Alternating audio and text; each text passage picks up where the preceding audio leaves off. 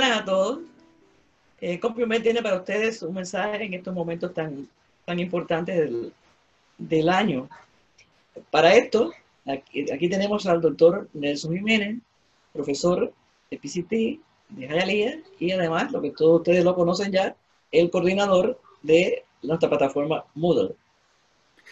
Y la doctora Eliana Durán, que es eh, profesora de Medical Assistant de eh, el, campus del Southwest de Miami.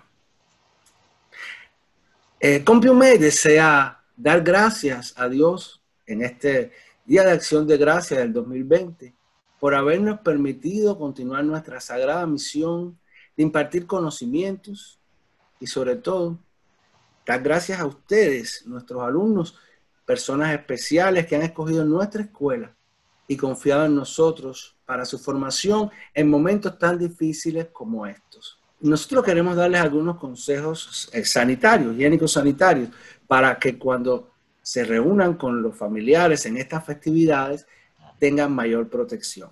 Para eso vamos a eh, escuchar a la doctora Eliana Durán.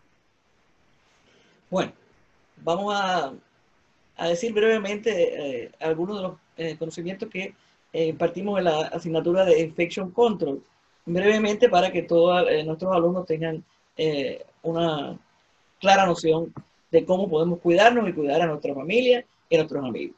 Ante todo, debemos de evitar ir a lugares donde haya aglomeraciones de personas, aunque sean espacios abiertos. Debemos tratar de eso no hacer. Si estamos entonces en espacios cerrados, tratemos de reunirnos solamente con nuestro núcleo familiar, con las personas que viven con nosotros.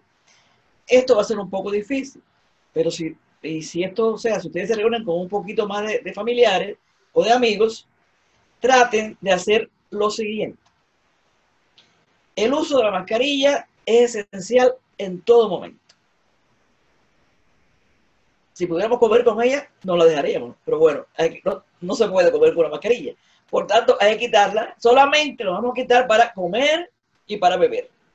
Debemos separar las sillas a la mayor distancia posible, tanto eh, aunque estemos en espacios abiertos, también como los cerrados. Debemos lavarnos las manos antes de tocarnos la boca, los ojos y la nariz y tener bien presente que una máscara, después que se humedece, ya no filtra eh, a la capacidad que, estaba prevista. Para entender todo esto, ¿por qué es todo esto? Porque ya todos sabemos que el virus COVID-19 se transmite por vía respiratoria. Lo mismo por gotas gruesas que caen al piso a una distancia de 3 a 6 pies o por gotas muy finas que se pulverizan y quedan flotando en el aire por varias horas. De ahí la importancia que al sentarnos debemos estar separados lo más posible de nuestro otro comensal, porque la gota que sale de las vías respiratorias de nuestro compañero de mesa no puede caer en nuestras mucosas y por tanto infectarnos. Y por eso es que tampoco la máscara no debe quitarse en la habitación cerrada porque el virus puede estar a una distancia mucho más allá de los seis pies.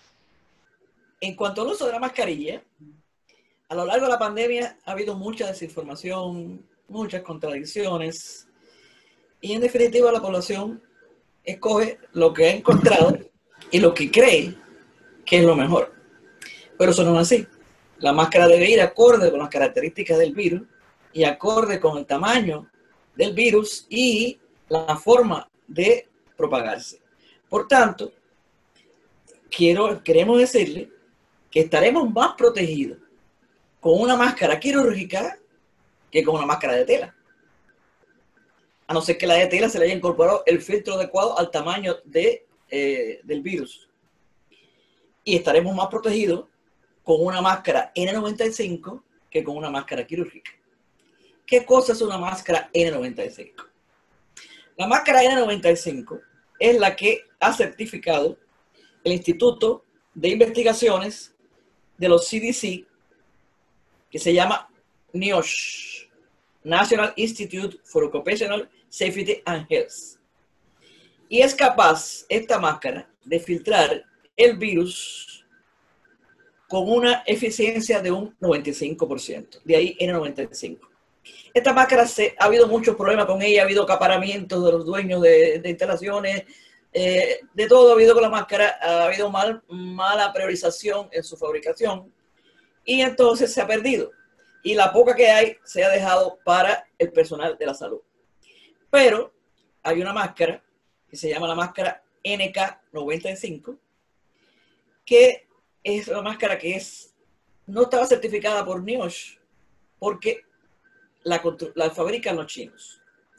Pero eh, debido a toda la necesidad que, hace, que ha habido de eh, una máscara con las características del N95, la, eh, la FDA le dio la aprobación a esta máscara para su uso en la pandemia. Aquí tenemos las máscaras quirúrgicas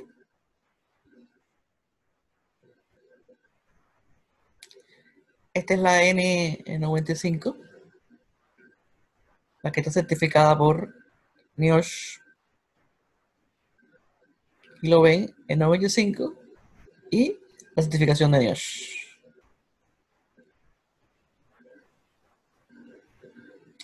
N95, NIOSH. Otra N95, NIOSH con filtro.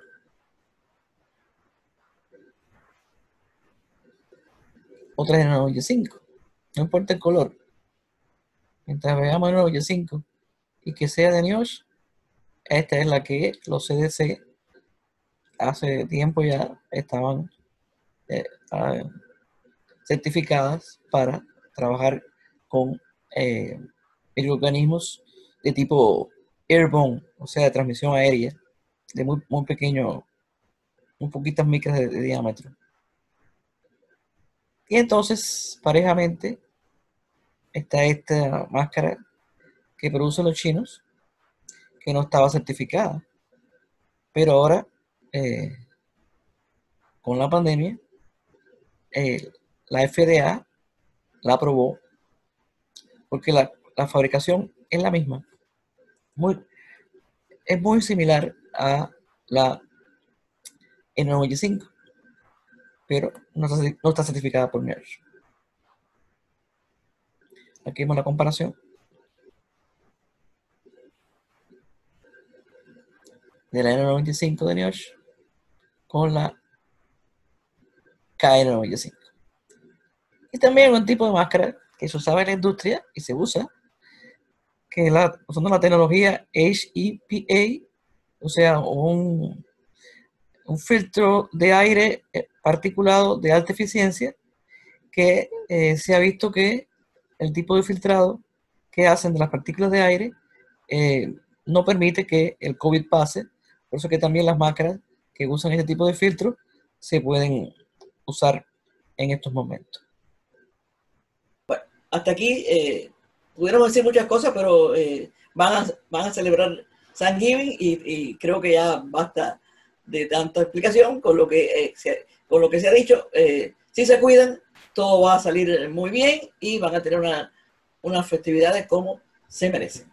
Muchas gracias, doctora Eliana Durán. Y bueno, ustedes ya saben que pasen unas felices fiestas y que tomen las precauciones correctas para que tengamos un próximo año mejor. Esperemos que así sea. Una vez más, Compiumé les agradece estar con nosotros estudiando y contamos con ustedes para los próximos meses. Hasta una próxima oportunidad.